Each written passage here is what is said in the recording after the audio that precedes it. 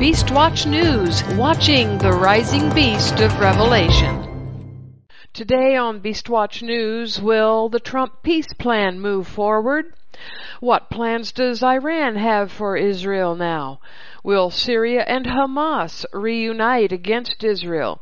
And what's the big issue in September's elections? First, though, a look at what Netanyahu's coalition loss may mean for Jewish settlements in Judea and Samaria. U.S. Ambassador Friedman has said this week Israel has the right to retain some of Judea and Samaria. Why would he say this and why would he say it like that? The Trump administration appears to be pushing ahead with one aspect of the peace plan, which entails Israeli annexation of the West Bank. Included in the annexation is the Golan Heights, which I reported on several weeks ago. He said, under certain circumstances, I think Israel has the right to retain some, but unlikely all of the West Bank. According to David Friedman on the New York Times in an interview published on Sunday. Mr. Friedman declined to say what the U.S. reaction would be if Israel decided to annex parts of Judea and Samaria, according to the Times. Pushing ahead, though, is not without its pushing back by the U.S. State Department. State Department spokesperson Morgan Ortagus said the administration's position on the West Bank has not changed, despite Ambassador David Friedman's comments.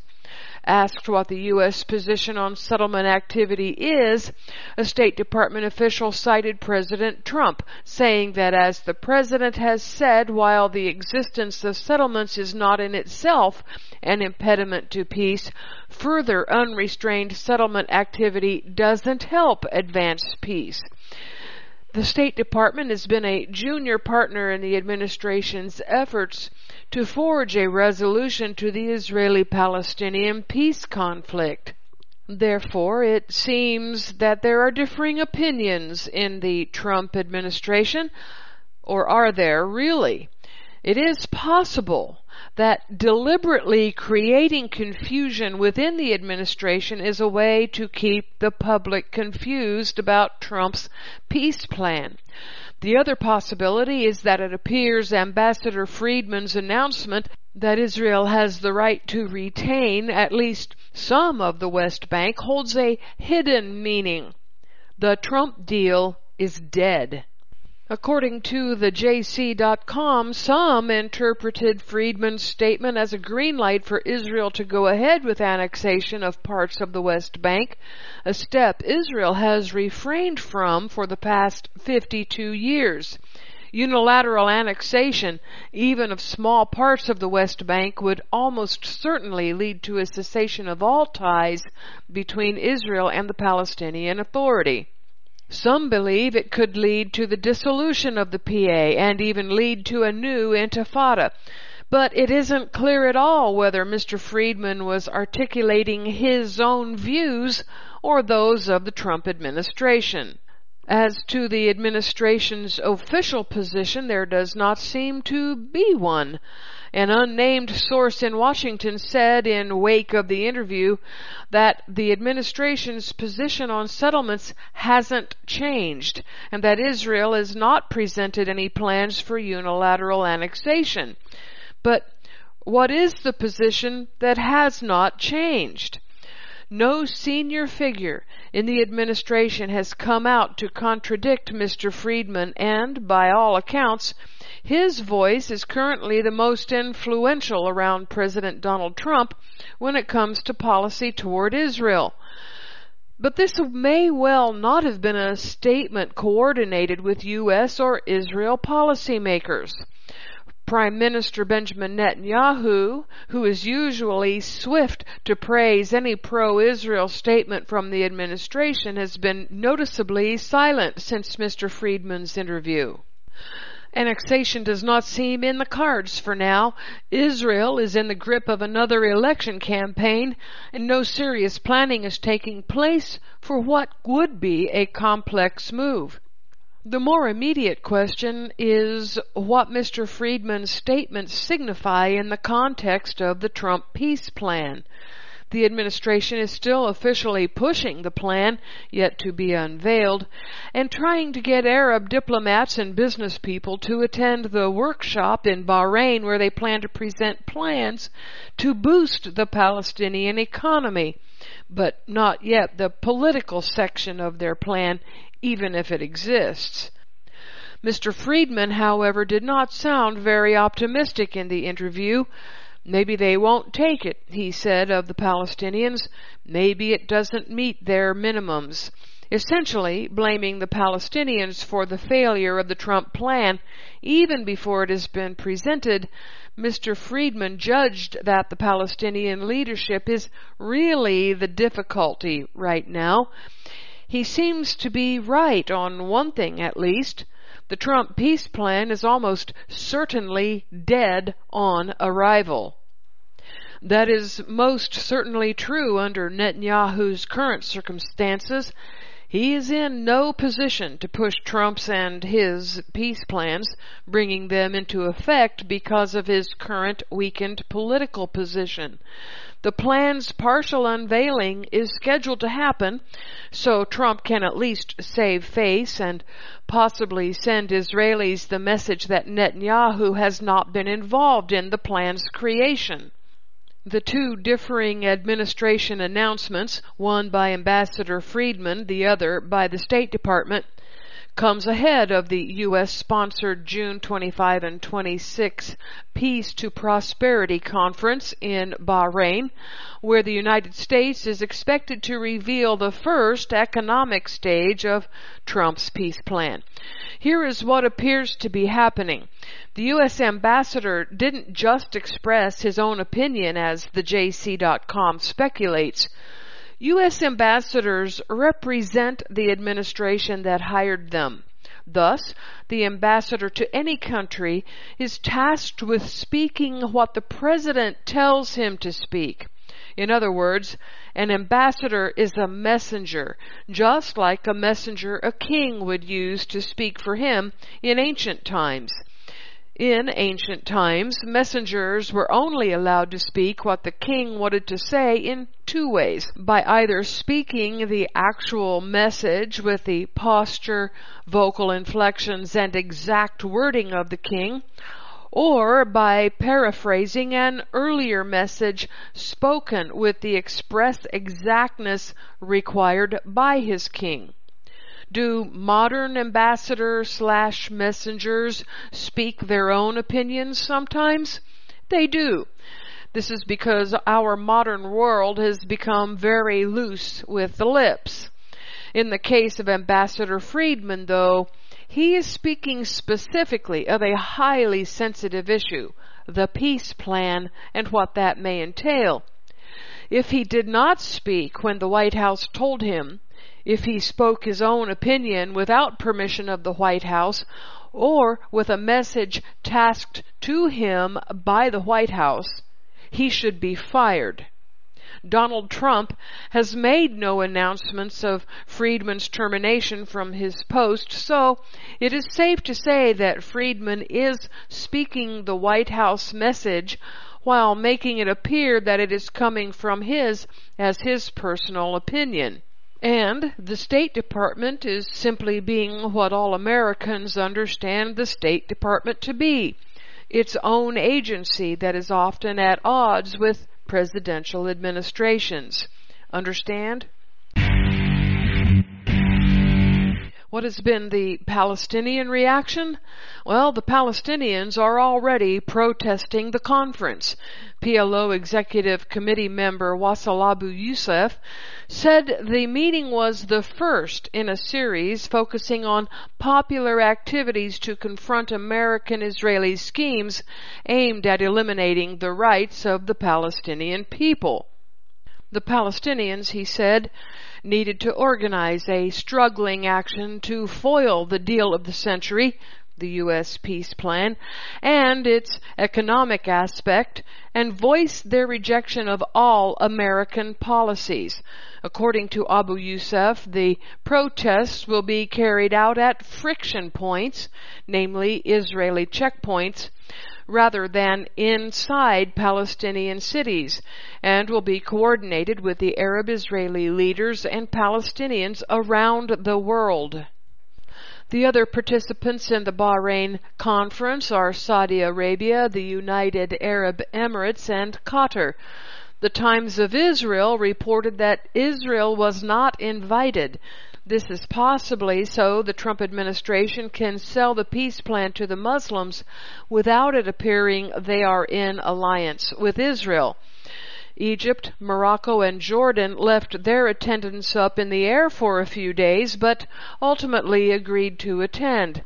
By attending, Amman is showing that it won't be left out while other countries in the Gulf take part. The conference is likely to focus on means to boost the economic well-being of Palestinians and Israelis through regional projects funded by Arab states and the U.S. According to reports in various Jordanian media outlets, King Abdullah said there was less pressure on Jordan to accept the Trump administration's deal of the century for peace between Israel and the Palestinians, as no major progress was expected in the next few months. The Jordanians have been furious with the Palestinian Authority President Mahmoud Abbas over his continued refusal to accept international aid for the West Bank. Abbas has again rejected a proposed plan to resolve the economic crisis in the PA and has even barred Palestinian officials from meeting Israeli officials seeking to help Ramallah resolve the crisis. The reason for the dispute is because Abbas has refused to accept the funds in the wake of Israeli legislation deducting terrorist salaries from these taxes. As a result of Abbas's refusal to accept the funds, Ramallah has had to cut public sector employees' wages by 50%. PA Prime Minister Mohammed Shtayyeh has warned that the PA would soon have no choice but to bite into the wages paid to its security forces. The latter is of particular concern for Jordan, as Amman is worried that any violent riots that erupt in the wake of economic chaos in the West Bank would not be directed solely at Israel and could spill over into the kingdom's territory. The Palestinian Authority is more concerned about paying its murderers of Jews than it is about paying its own security force personnel. That should tell you something about the intransigence of the ancient house of Israel and house of Judah people who are mixed together and with ancient Gentile stock in the West Bank. Their continued unrelenting desire to kill the Jews is another clue about the 2900 year old war between the houses. Most Muslim Palestinians don't know who they are, ancient physical Hebrews, not to be confused with ancient Israelites who worshipped the God of Jacob. The Palestinians want war with Israel. Their house of Israel and house of Judah, ancient Samaritan and Gentile DNA, wants to take Yahweh's Israel for themselves alone. For as much as the house of Judah, the Israeli Jews want the same thing, there will be war in the mountains of Israel, according to Ezekiel 38:8 and 39:2, and it will be a war between brethren, Ezekiel 38:21. And if the belief that Gog will one day be the President of the United States is correct, then we can expect the U.S. to not only engage in that war, but to start it. What better way to start such a war but with a peace plan that no one wants, regardless of the terms that a nation outside Israel wants to impose? It won't matter how beneficial any peace terms are to the Palestinians or the Jews. They both want to remove the other from Yahweh's land. And since this is the case, we must ask if, biblically, does Israel now have the right to retain or annex more land as Ambassador Friedman said? The answer is no. Israel is the name of a nation of 12 tribes who all are to take their place as unique tribes serving Yahweh neither the Israeli Jews nor the Palestinians have the right to Yahweh's land by themselves. And most certainly, since the UN created modern political state of Israel declared for themselves a jubilee last year, which requires the restoration of all tribes to the land, do they have the right to annex the land? Biblically speaking, Yahweh will see their annexations and even retentions, possibly, as confiscation. Why is this? It will be because Judah will have broken the Torah in yet another way. Deuteronomy 19:14 says, "You shall not move your neighbor's landmark, which the men of old have set in the inheritance that you will hold in the land that the Lord your God is giving you to possess." In other words, don't take land that doesn't belong to you. The tribal lands were specific, with specific boundaries. The house of Judah needed to return to the land first, since Judah always goes first when the camp moves. But Judah's return was for the purpose of occupying the land until all the tribes could return, make aliyah. But last year, during the self-declared Jubilee, Judah decided to reject all house of Israel brethren who believe Yeshua is the Messiah and even entire Jewish sects who are not Orthodox or ultra Orthodox with that Jewish state bill. Furthermore, the Jubilee requires complete restoration of the land back to all the previous owners. It is known where the tribal boundaries were. That knowledge was never lost. What must happen next for the Israelis to fulfill Yahweh's requirements is for them to allow all who want to return to worship Yahweh, the God of Abraham, Isaac, and Jacob, to return. Those who do not want to worship Yahweh and who still want to murder Jews or other Hebrews should suffer capital punishment per the Torah. This would require the Israeli house of Judah Jews to rightfully begin ruling as the kingly tribe under the Torah, but not the Talmud. You see, there is too much that Yahweh's people from either house are not willing to fulfill, either from rebellion or ignorance. Only Yeshua can sort this mess out. His kingdom will be Torah based, not Talmud based.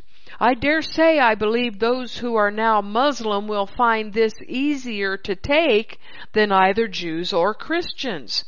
Orthodox Jews are trying to make Israel into a Talmud based state, while Christians reject the Torah as having authority in their lives, even though they do seem to accidentally obey some of the Torah's precepts from time to time.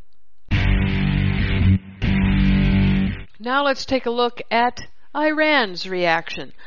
Iran has harshly opposed Bahrain hosting the event, accusing Saudi Arabia and Bahrain of being traitors involved in a U.S. plot, but the Saudis' stature and presence at the conference has added legitimacy to the event for the other Arab nations.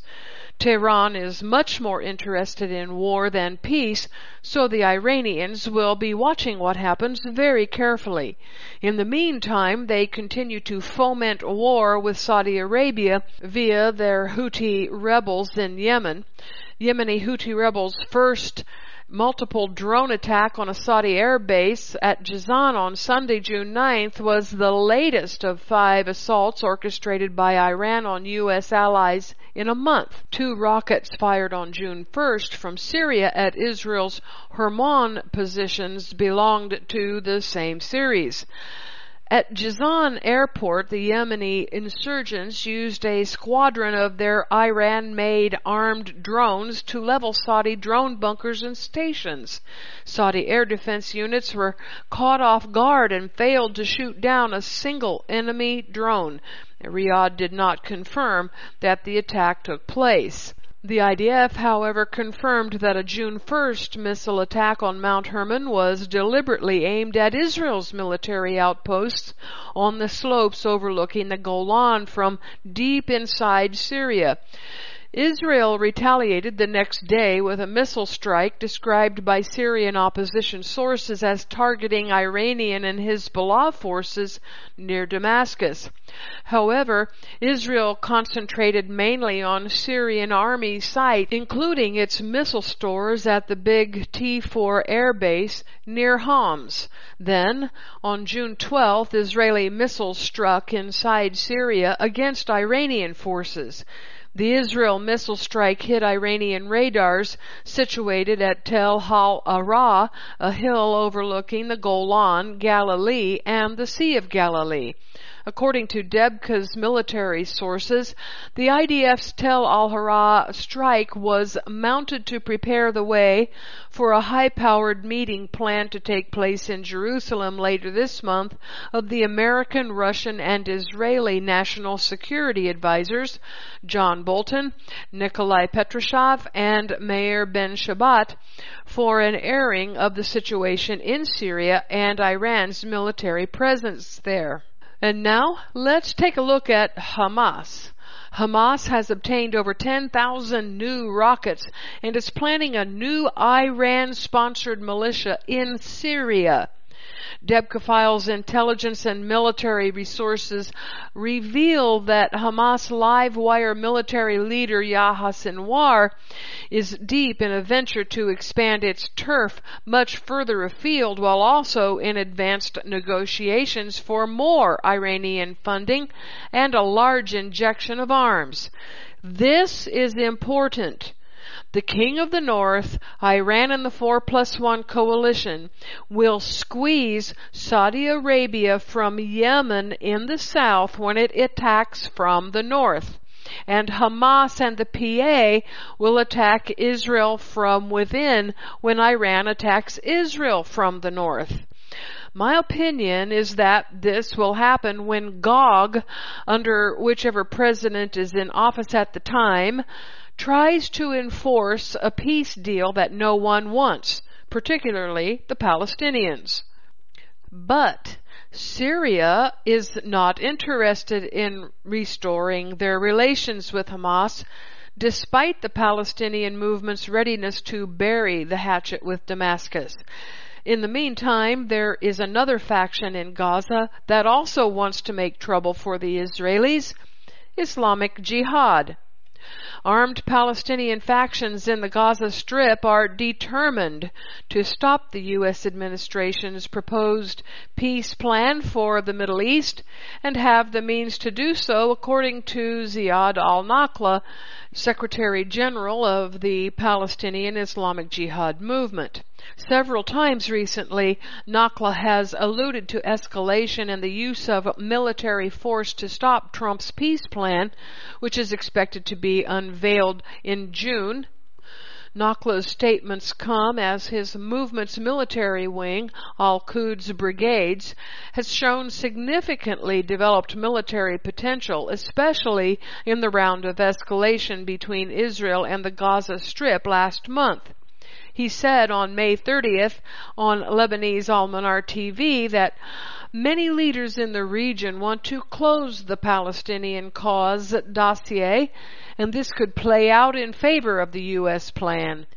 Naqla pointed out, however, that despite the disparity in the balance of power, the Palestinian people have the ability to thwart the plan, which the United States has dubbed the deal of the century. If Palestinians are not part of the deal, then the deal is born dead. The Palestinians have the right to reject any deal that does not respect their historical rights, he added.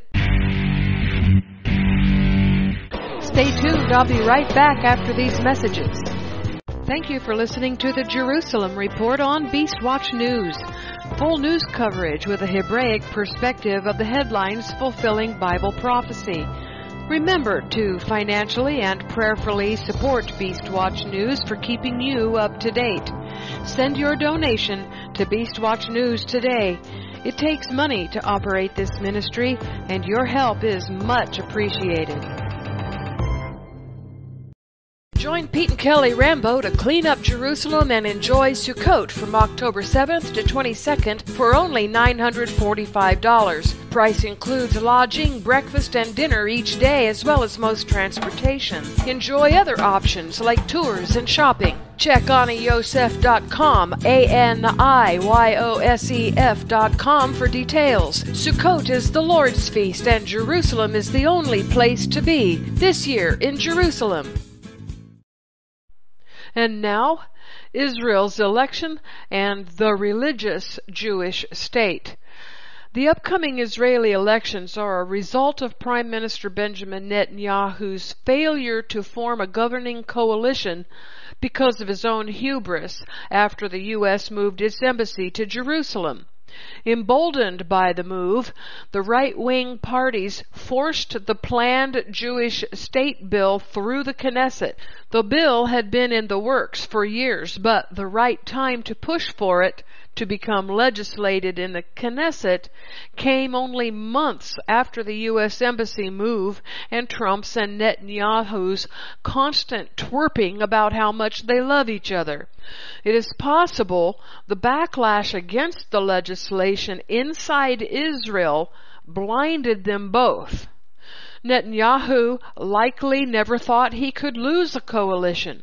No elected prime minister ever had since Israel's inception in 1948. Trump, who was counting on Netanyahu's political prowess to form a coalition, was probably blindsided too. He was looking forward to unveiling his peace plan in June, now a scaled down version with the highlights, especially the economic goodies the Palestinians stand to gain, is what the world will get. It's kind of like watching a movie preview in which all the good stuff is revealed, but the movie turns out to be worthless. The rift between Netanyahu and his former defense minister Avigdor Lieberman has to do directly with the Jewish state law. The law panders to religious Orthodox and ultra Orthodox Judaism, its religious advancement coming about because of the conscription problem of Orthodox young men into the Israeli military. Avigdor Lieberman's blue and white party, with only five seats that Netanyahu desperately needed to make the coalition, stopped the development of Israel as a religious state.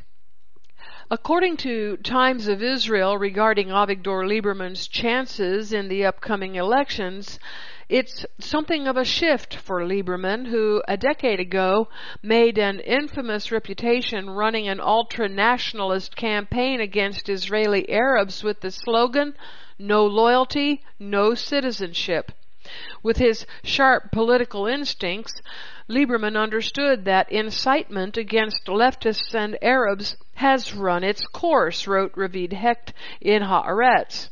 And Lieberman, in his political wisdom, has found an old new target that's somewhat fresher, the Orthodox and ultra-Orthodox. Ravid Hecht argued that the centrist blue and white party will need to match Lieberman's rhetoric if it wants to win. This will have to be the main thrust of its campaign, frightening the members of the public about the fate that awaits them in the clerical right-wing state being planned by the alliance of the ultra-Orthodox and Orthodox who tend toward ultra-Orthodoxy. The U.S. has wrangled with the separation of church and state for over 100 years. Now, it is America's sister nation's turn. Indeed, it appears that Blue and White and other opposition parties don't plan on leaving Lieberman as the sole defender of the secular state. On Monday, Yair Lapid responded to Smotrich's pledge for a religious state, tweeting, We won't let this pass, while Labor MKs said his statements are a warning sign for the wave of conservatism by parts of the right.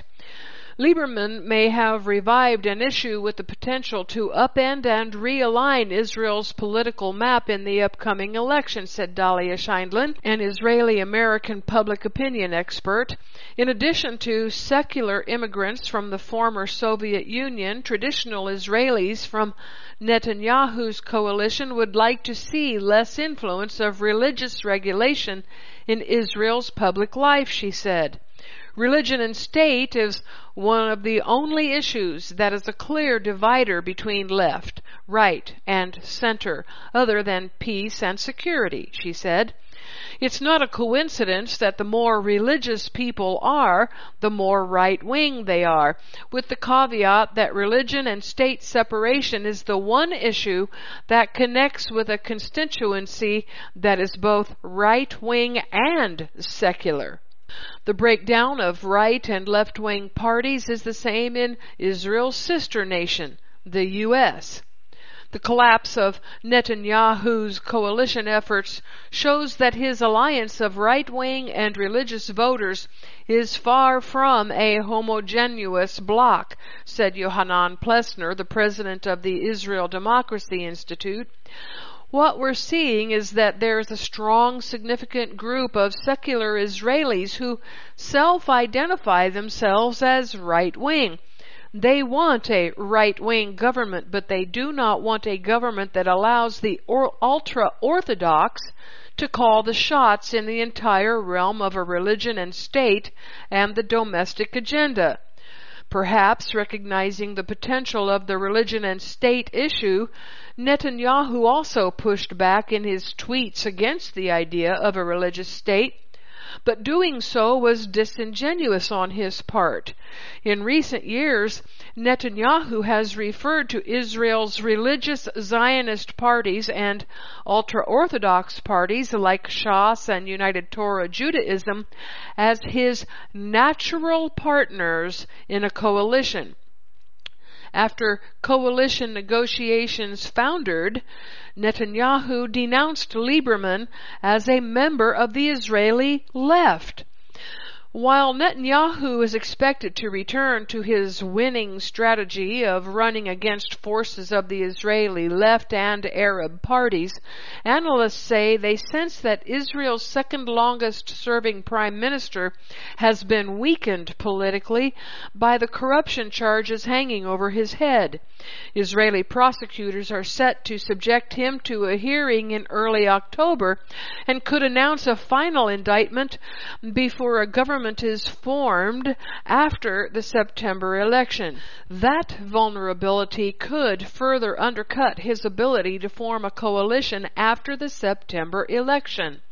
A lot of Netanyahu's success is based on this aura of invincibility he has, and that he alone is the indispensable prime minister, and that no one else can fill his shoes, said Michael Koplow, the director of the left-leaning Israel Policy Forum.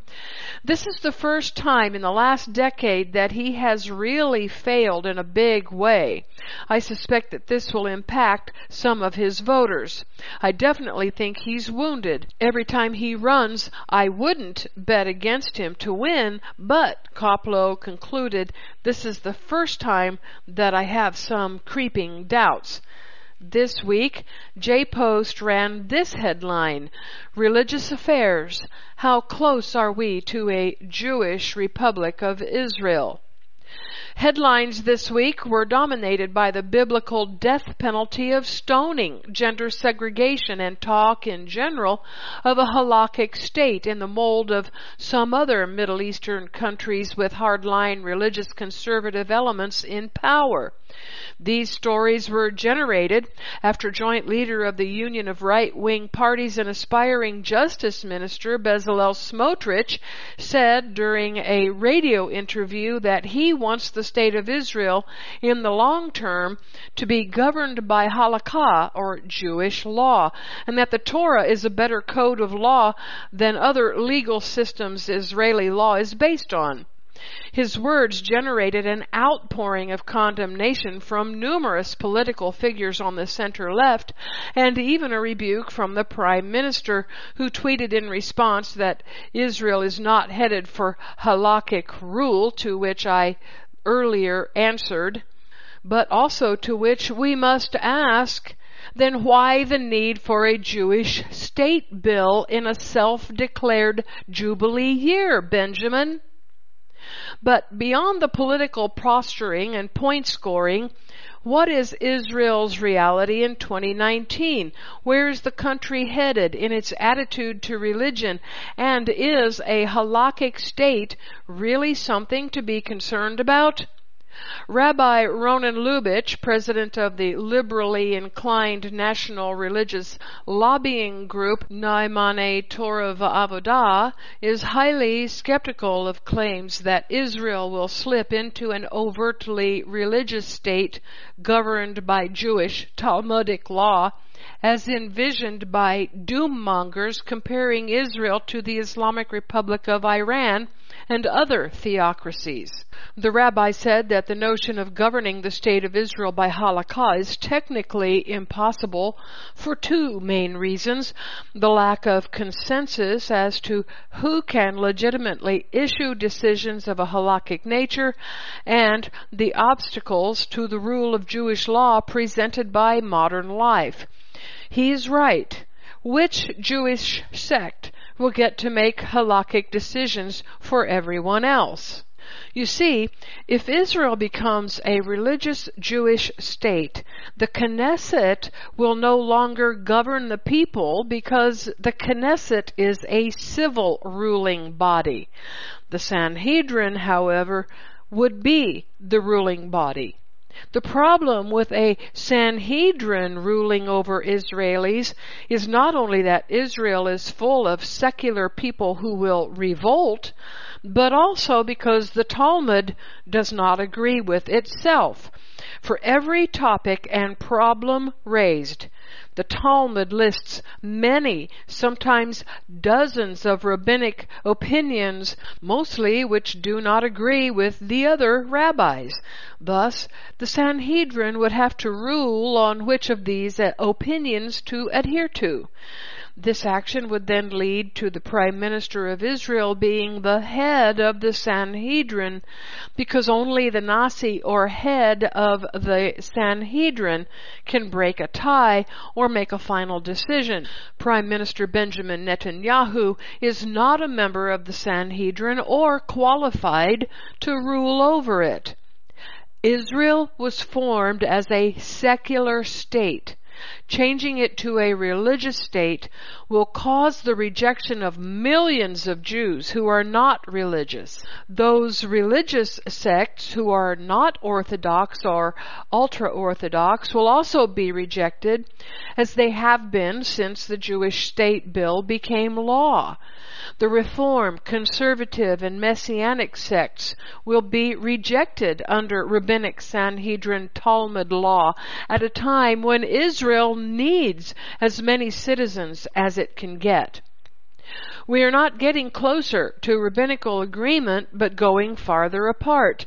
There is no agreed upon authority or institution that makes religious decisions which are accepted by everyone, observed Lubitch the halakhic restrictions and strictures pertaining to banking and interest charges, Israeli agriculture, and Sabbath observance would severely damage the country's ability to function as a modern state, he argued. Additionally, using Jewish law to govern the state of Israel would have a negative effect on the rights and equality of many citizens, including non-Jews, women, gays, and others.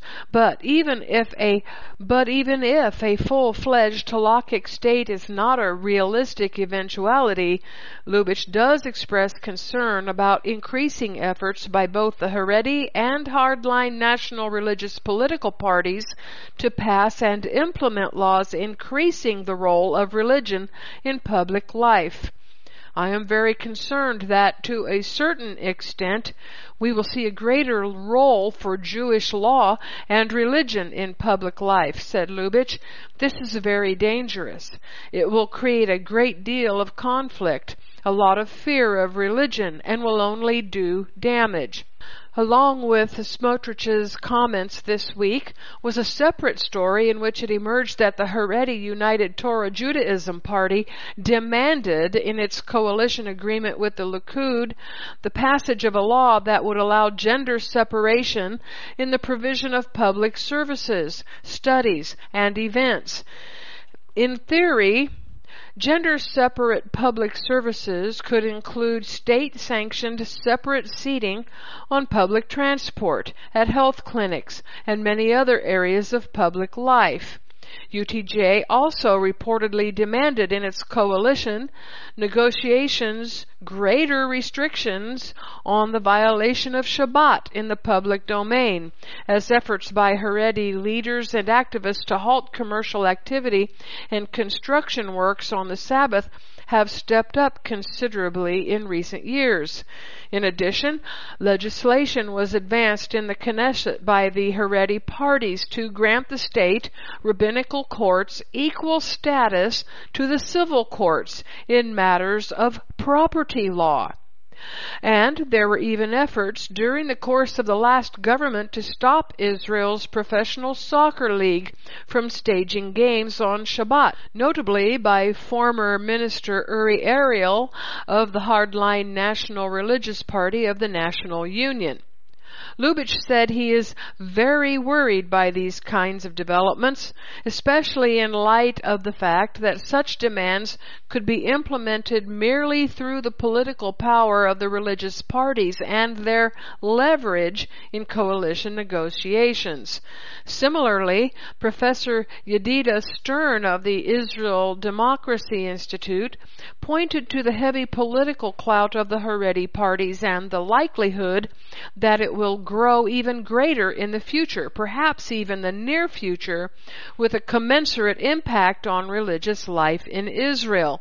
He noted that the Haredi parties in the most recent election obtained 16 seats, 13% of all Knesset seats, putting the sector's political representation above its share of 12% of the total population together with the five seats garnered by the hardline National Religious Union of right wing parties, whose leaders and supporting rabbis have adopted very stringent positions on matters of religion, the religious parties comprise over 17% of the Knesset, and their power is heightened further when considering that the prospective government the Prime Minister was trying to assemble comprised just 65 MKs or members of Knesset.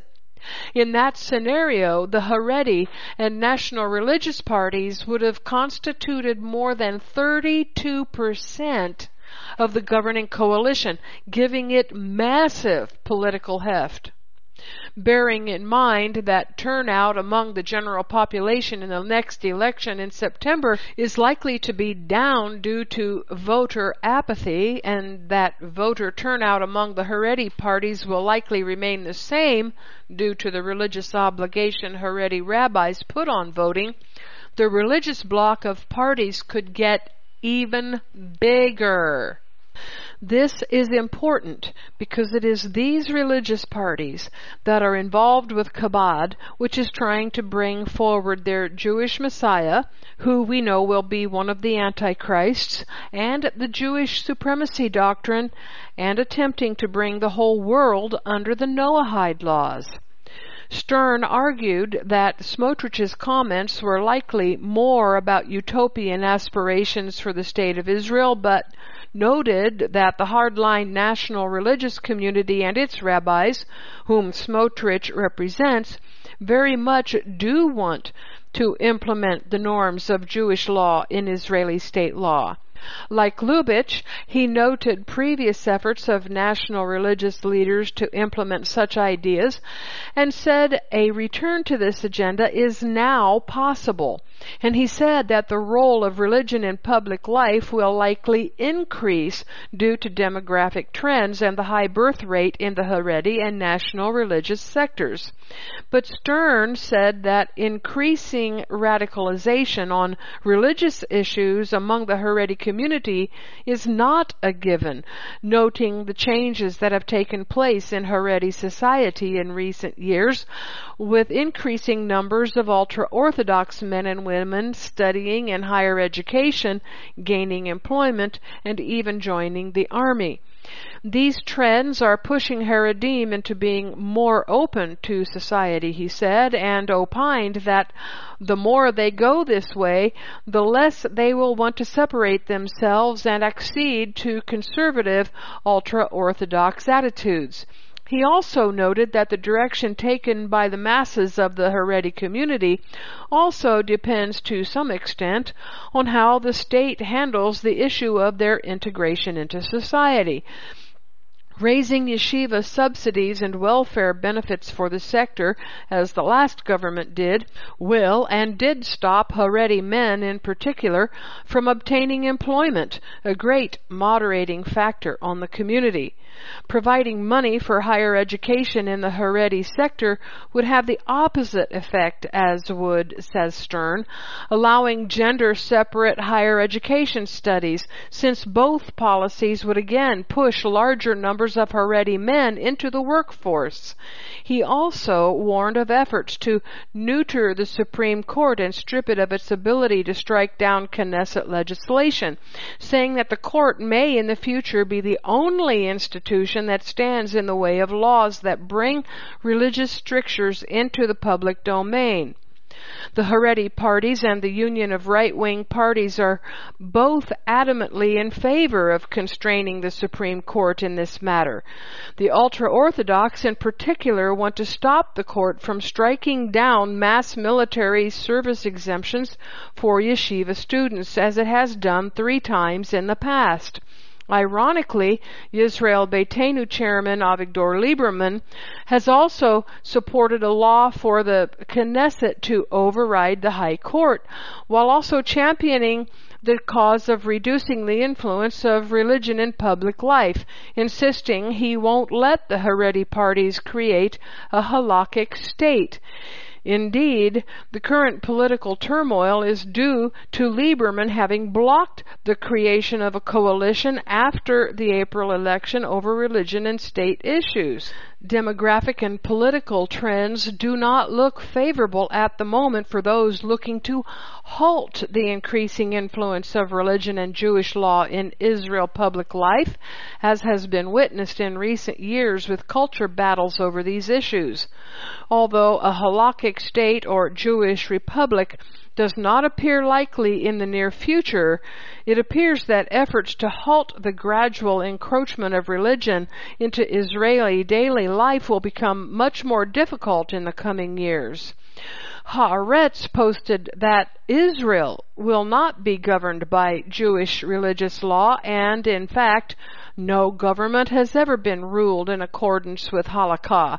In the time of King David, not only was there no halakha as yet, but by the time halakha came about with the completion of the Mishnah in the second century, there was no longer an independent kingdom of Israel to rule over. And in the intervening period, the Hasmonean kingdom absorbed Hellenistic concepts, Aristobulus and Hyrcanus are not Hebrew names, and they persecuted and executed Jewish sages. So, when he speaks about Israel returning to operate as it did in King David's time, member of Knesset Bezalel Smotrich is denying history. No wonder historical ignorance is a prerequisite for any fundamentalist vision, according to Haaretz. Haaretz further reports that the problem with halakha as it is today is not that its laws are bizarre or anachronistic. Yes, the punishment for theft is a fine amounting to twice the value of the stolen item, which is true of Talmud but not Torah, a ludicrous penalty that would permit people of means to steal to their heart's delight. Yes, halakha prohibits women from testifying or serving as judges which is true of Talmud, but again, not Torah, and which is an insult to the intelligence of any rational human being. Such details can presumably be modified and updated. The real problem is the fundamental understanding of humanity in halakha. According to halakha, human beings must obey divine law and cannot legitimately choose to do otherwise. However, we also know that the Jewish supremacy ideology says only Jews are human, thus non-Jews, subspecies, are not permitted to obey the Talmud. Simply put, halakha minimizes the significance of individual autonomy, expanding importance for some while curtailing even being known as human for others. The compulsion to observe the commandments is part of halakha, and it is also no coincidence that halakha permits both slavery and pedophilia, according to the rule of the Talmud, which are very different from the Torah. When there is no unequivocal recognition of the individual as an autonomous subject, then enslavement becomes acceptable. And when choice and consent are not a necessary condition for sexual relations, it's no wonder that it is permissible to have sex with someone who cannot choose, and on the other hand, consensual sex between people of the same sex is prohibited and should be according to the Torah. The laws of marriage and divorce, over which the chief rabbinate holds a legal monopoly, have become a mechanism for coercion and injustice. Non-religious couples are compelled to marry not in keeping with their beliefs. Women are discriminated against under the marriage canopy as well as in the divorce laws and the rabbinical courts abuse many who come before them. Even without the blatant corruption and nepotism that is so rampant in the rabbinate, it would still be despised by the public simply because the modern conscience rebels against coercion and discrimination. Smotrich, whose decision plan, published two years ago, called for the Palestinians to either agree to live as subjects or to choose between immigration, that's deportation, and death, has proved before that democratic principles are of no interest to him. It's no surprise to find him leading the theocratic charge. Hardalim, or ultra-Orthodox Zionists, account for just 2% of Israel's Jewish population, but intoxicated with the political power given to them by Netanyahu, they mistakenly believe the time has also come for their fundamentalist ideas. Placing them in the centers of decision making will clearly lead to religious coercion and a shrinking of civil liberty. There is also a lot of room for democracy in Torah law, Smotrich hastened to reassure everyone following the uproar over his comments touting the imminent return of the kingdom of the house of David. But this is not correct. There is room for Torah law in democracy, but not the reverse. The relationship is always one way because one conception is fundamentally tolerant and insists on individual rights and freedom of religion, while the other does not. Should Smotrich and company obtain the kind of power they desire, we will all be made quite aware of this. The outcome of the September elections remains up in the air. However, it is unlikely that Avigdor Lieberman, should his party again win enough seats to matter in the making of a coalition in September, will roll over to let the religious ultra-Orthodox win the day. That's it for this Beastwatch News update. This is Kimberly Rogers Brown signing off. Click over to BeastWatchNews.com for full comprehensive coverage of all the headlines fulfilling end of days Bible prophecy.